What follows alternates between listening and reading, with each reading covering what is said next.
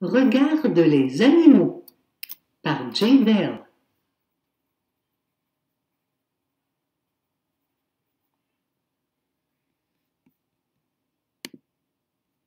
Cet oiseau est jaune et cette araignée est noire. Cette abeille est jaune et noire.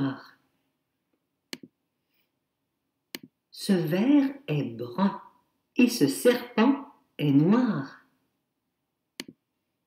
Cet escargot est brun et noir. Cette grenouille est verte et cet insecte est noir. Cette chenille est verte et noire. Ce papillon est bleu et cette fourmi est noire. Mon poisson est bleu et noir.